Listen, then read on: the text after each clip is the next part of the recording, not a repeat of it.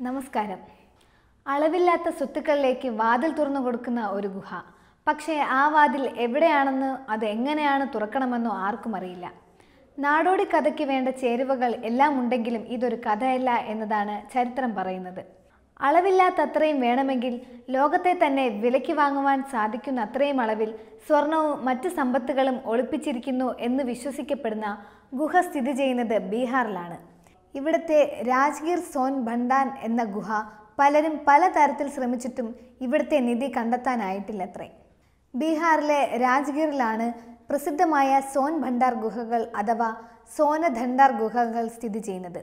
A D മൂന്ന് നാല് നൂറ്റാണ്ടുകളിൽ എപ്പോഴോ നിർമ്മിക്കപ്പെട്ടു എന്ന് വിശ്വസിക്കുന്ന ഗുഹ വൈഭർ കുന്നുകളിലെ രണ്ട് വലിയ പാറകൾ തുറന്നാണത്രേ നിർമ്മിച്ചിരിക്കുന്നത്.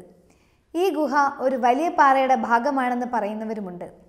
ജൈന മതക്കാരുടെ ആരാധന കേന്ദ്രം ചരിത്രത്തിലെ വ്യത്യസ്ത രാജവംശങ്ങളുടെ പല അടയാളങ്ങളും ഈ ഗുഹകളിൽ കണ്ടെത്തിയിട്ടുണ്ടെന്നും ജൈനമത വിഭാഗക്കാരുടെ ആരാധന കേന്ദ്രമാണ് ഈ ഗുഹ എന്ന വാദത്തിലാണ് കൂടുതൽ ആളുകളും പിന്തുണയ്ക്കുന്നത്.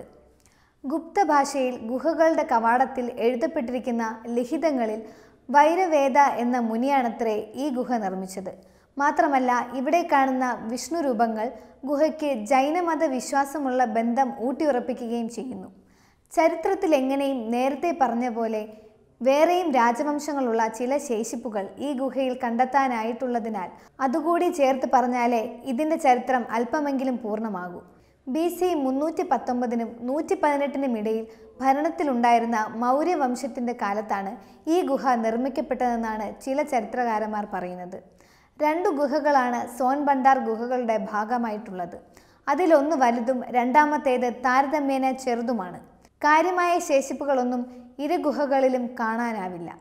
ആദ്യത്തെ വലിയ ഗുഹയിൽ നിന്നും പണ്ട് നിർമ്മാണം പൂർത്തിയാകാത്ത ഒരു വിഷ്ണുവിന്റെ വിഗ്രഹം ലഭിച്ചിരുന്നു. ഇത് നളന്തയിലെ മ്യൂസിയത്തിലാണ് സൂക്ഷിച്ചു വെച്ചിരിക്കുന്നത്. ഇത് വിഷ്ണുവിന്റെ ക്ഷേത്രമായിരുന്നു എന്ന് വിശ്വസിക്കുന്നവരുമുണ്ട്. അകത്തെ ചെറിയ ഗുഹയിൽ ചെറിയ ശില്പങ്ങളും ലിഖിതങ്ങളും കാണാം. ഇത് ജൈനമത വിശ്വാസികളുടേതാണ്. ബിംബം സാരൻ ഗുഹയെക്കുറിച്ചും ഇവിടുത്തെ നിധികളെക്കുറിച്ചും പറയുന്നതിന് മുമ്പ് ഈ പ്രദേശം ഭരിച്ചിരുന്ന ബിംബസാരന്റെ കഥ കൂടി നിങ്ങൾ കേൾക്കേണ്ടതുണ്ട്. മഗധയുടെ രാജാവായിരുന്ന ബിംബസാരൻ അളവില്ലാത്ത സ്വത്തുക്കൾക്ക് ഉടമയായിരുന്നു. വളരെ ചെറിയ പ്രായത്തിൽ തന്നെ രാജ്യത്തിന്റെ ഭരണാധികാരിയായ അദ്ദേഹം സമ്പാദിച്ചതിന് കണക്കില്ലായിരുന്നു. എന്നാൽ പ്രായമായപ്പോൾ ബുദ്ധനിൽ അകൃഷ്ടനായ ബിംബസാരൻ തന്റെ ജീവിതം ആധ്യാത്മിക തലത്തിലേക്ക് മാറ്റുകയും സ്വത്തുക്കൾ മിക്കവയും ദാനം ചെയ്യുകയും ചെയ്തു അത്രേ ഇതിനെ തുടർന്ന് അദ്ദേഹത്തിനെ പുറത്താക്കുവാൻ മകനായ അജാതശത്രു ശ്രമിച്ചിരുന്നു. മകന്റെ ശ്രമം മനസ്സിലാക്കിയ ബിംബസാരന്റെ ഭാര്യ അദ്ദേഹത്തിന്റെ സ്വത്തുക്കളെല്ലാം ഒളിപ്പിക്കുവാനായി മാറ്റിയത്രേ. ജൈന മുനിയായിരുന്ന വൈരദേവ മുനിയാണ് അവർ ഇതിനായി ചുമതലപ്പെടുത്തിയത്. രാജാവിന്റെ സ്വത്തുക്കളിൽ ഭൂരിഭാഗവും ഇവിടേക്ക് മാറ്റുകയും മുനി ഗുഹയിൽ പ്രത്യേകമായി നിർമ്മിച്ച നിലവറയിലേക്ക് അത് മാറ്റുകയും ചെയ്തു. പിന്നീട് ഇതാരും തുറന്നെടുക്കാതിരിക്കാനായി പ്രത്യേക പൂട്ട് പൂട്ടിയത്രേ. ആർക്കും ഒരു തരത്തിലും തുറക്കുവാൻ സാധിക്കാത്ത മന്ത്രപൂട്ടിട്ടാണിത് പൂട്ടിയിരിക്കുന്നത്. ഇവിടേക്കുള്ളിലെ വാതിലും മുനി മന്ത്രവിദ്യയാൽ മറച്ചു എന്നാണ് വിശ്വാസം. ഗുഹയ്ക്കുള്ളിൽ എവിടെയോ നിലവറയുണ്ട് എന്നറിയുമല്ലാതെ ഇവിടേക്കുള്ള വാതിലോ എങ്ങനെ എത്തിച്ചേരണമെന്നോ ആർക്കും കണ്ടുപിടിക്കാനായിട്ടില്ല. ഇവിടെ പ്രധാന ഗുഹയിലേക്ക് പോകുന്നിടത്ത് ചുവരിൽ ഒരു വാതിലിന്റെ രൂപം കാണാം. അത്ര വ്യക്തമല്ലെങ്കിൽ കൂടി അതിലേറെ പ്രാചാന്യ ലിപിയിൽ കുറേ എഴുത്തുകൾ കാണാം. നിഗൂഢ ഭാഷകളിൽ എഴുതിയിരുന്ന ഇത് വായിച്ചെടുക്കാൻ നിലവറയിലേക്കുള്ള വാതിൽ തനിയെ തുറന്നു വരുമെന്നാണ് വിശ്വാസം.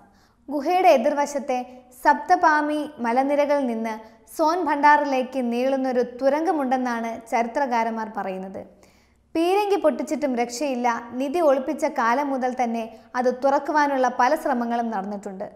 മുഗളന്മാർ മാത്രമല്ല ഇവിടെ എത്തുന്നവർ പോലും അത് വായിക്കുവാനുള്ള ഒരു ശ്രമം നടത്തുന്നു.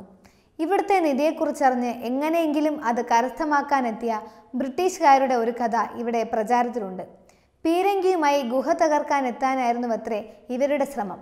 എന്നാൽ അവരിവിടെ എത്തി പഠിച്ച പണി പതിനെട്ടും പയറ്റിയിട്ടും പീരങ്കി ഉപയോഗിച്ചിട്ട് ഈ നിലവറ തുറക്കുവാനായിട്ടില്ല.